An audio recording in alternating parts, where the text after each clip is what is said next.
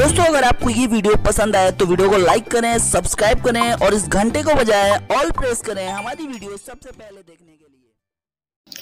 Hello दोस्तों, आज की बड़ी खबर ब्रेकिंग न्यूज़ आज हम आपको बताएँगे उनतीस अप्रैल को दुनिया का विनाश हो जाएगा। जी हाँ दोस्तों, उनतीस अप्रैल को दुनिया का यानी दुनिया खत्म हो जाएगी, भयंकर तबाही आने वाली है जो जी हाँ दोस्तों, कोरोना वायरस के डर से बीस सोशल मीडिया पर दावा जानने पर क्या है सच्चाई दी है दोस्तों? आज हम आपको पूरी सच्चाई बताएँगे। उनतीस अप्रैल को दुनिया के विनाश वाले दावे में की कोई सच्चाई नहीं है, ये एक बस अफवाह है। नासा के मुताबिक एक क्षतिग्रह उनतीस अप्रैल 2020 को पृथ्वी से गुजरेगा। इस दौरान पृथ्वी से इसकी दूरी करीब चार मिलियन मील होगी। इसे पृथ्वी पर कोई असर नहीं पड़ेगा। जी हाँ दोस्तों, इससे पृथ्वी पर कोई असर नहीं पड़ेगा।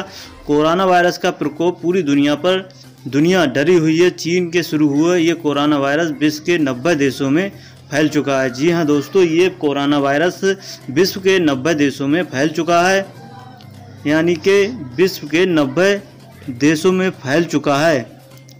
इसमें चार चार हज़ार से ज़्यादा लोगों की मौत हो गई है। इसी बीच सोशल मीडिया पर खगोलीय घटना को लेकर एक बड़ा दावा किया गया है कि सोशल मीडिया पर कुछ यूज़र दावा कर रहे हैं कि आने वाले उनतीस अप्रैल को एक क्षतिग्रह जो हिमालय पर्वत से भी ज़्यादा बड़ा होगा, वह पृथ्वी से टकरा, टकराएगा, जिसके कारण भयंकर तबाही होगी और विनाश होगा। ऐसी स्थिति में आप आ सकती है। जहाँ दो, जी हाँ दोस्तों, ऐसी स्थिति आ सकती है। इससे आप सावधान रहें। उनतीस अप्रैल को दुनिया खत्म हो जाएगी। ये एक अफवाह है। जी हाँ दोस्तों, कोई सच्चाई नहीं, सच्ची बात नहीं है। ये एक अफवाह है। इससे जाने दुनिया के विनाश वाले दावे की सच्चाई। इंडिया टुडे छपी खबर के मुताबिक उनतीस अप्रैल को लेकर किया गया दावा गलत है। नासा ने कुछ दिनों पहले ये सूचना दी थी।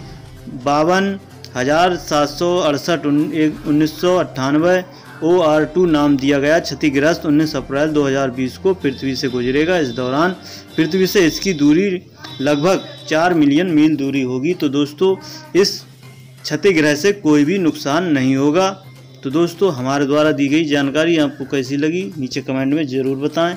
और ऐसे ही इंटरेस्टिंग वीडियो देखने के लिए हमारे यूट्यूब चैनल को सब्सक्राइब करें। आपने अपना कीमती समय दिया, इसलिए आपका बहुत बहुत धन्यवाद। Thank you so much